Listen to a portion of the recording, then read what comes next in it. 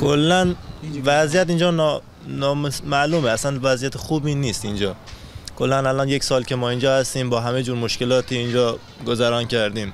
اصلا زندگی اینجا خیلی سخته برای ما. من الان یک بچه یک ساله دارم. وقتی که اومدم اینجا کلا سه ماهش بود. الان یک سال و سه ماهش شده.